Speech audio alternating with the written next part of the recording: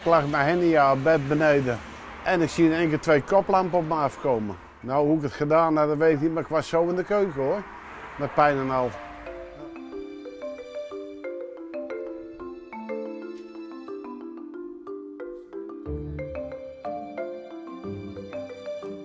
Nou, je hebt hier verderop een bochten niet weg.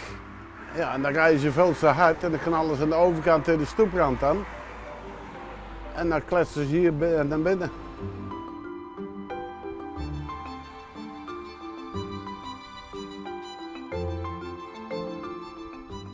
Zijn bestelbus, die reed binnen. Nou, de televisie had hij op het voorraam staan, die lag in de keuken. ook echt heel de gevel eruit.